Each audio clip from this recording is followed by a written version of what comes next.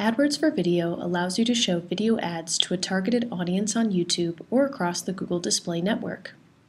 In this video, we'll take a step-by-step -step look at setting up an AdWords for Video campaign.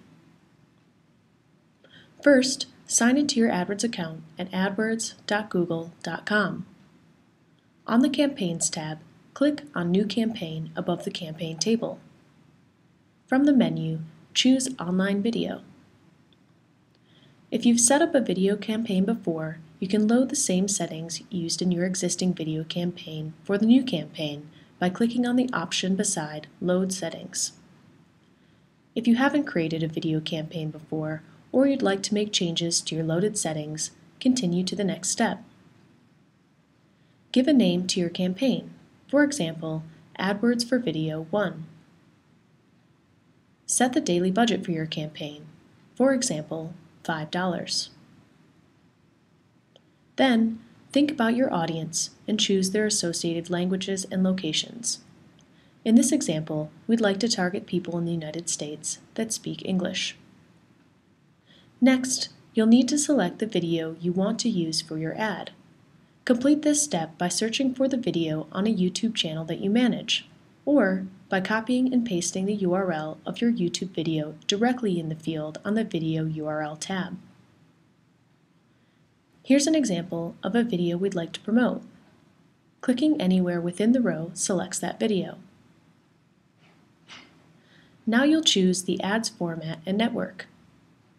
If you choose Automatic, you'll be opted into running your ad for all four available formats and across all network targeting options. Let Me Choose allows you to select your preferences individually. In the following Ad Attributes section, fill in the title and description for your ad.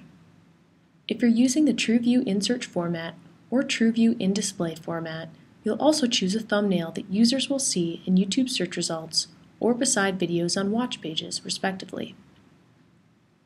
Enter display and destination URLs. These are used to direct users to an appropriate landing page after clicking on your ad if you're using the TrueView InSlate or InStream formats.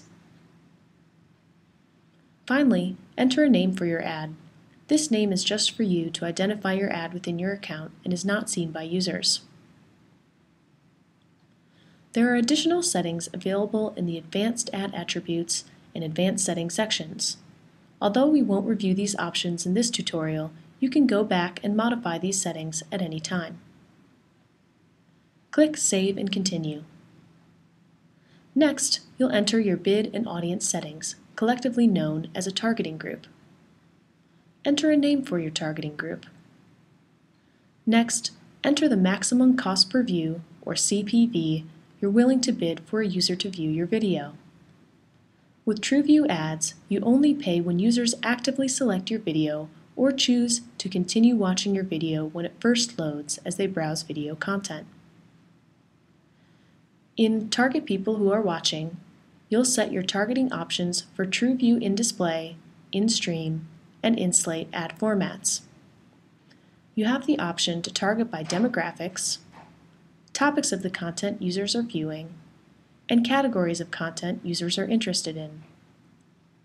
You can also narrow your target group with more advanced options such as placements, remarketing, or keywords.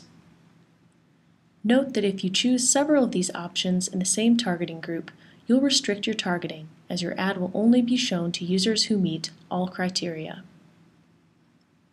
In the Target People Who Are Searching section, you'll select keywords applied to your TrueView in search ad formats. After you save your targeting options, your AdWords for Video campaign is ready to run. If you want to edit your campaign or ad in the future, get started by navigating to the Campaigns tab of your account and clicking on All Video Campaigns.